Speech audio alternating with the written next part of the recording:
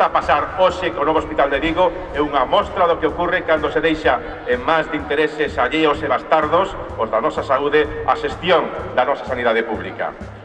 Os sobrecustos da obra, Os recurtes en servizos, recursos, equipamento e persoal que van condicionar gravemente a súa calidade, o seu funcionamento e o acceso dos pacientes e familiares, accesos, aparcamento, transporte e a mala planificación e improvisación e deficiencias detectadas no traslado dende o Hospital Xeral Meixueiro Nicolás Peña o novo hospital son a prova palmaria de que o seu interese non é a seguridade nin a calidade na atención aos pacientes, senón tirar da rendabilidade política inmediata da apertura publicitada deste novo hospital, pois a elle malo tiro.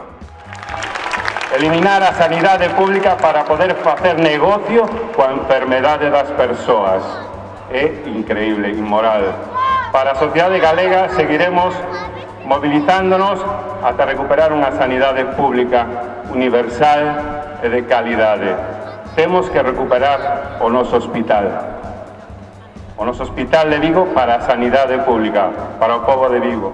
Defendamos a área sanitaria de Vigo contra os recordores no novo hospital, a, pre, a privatización e corrupción. A privatización! E corrupción!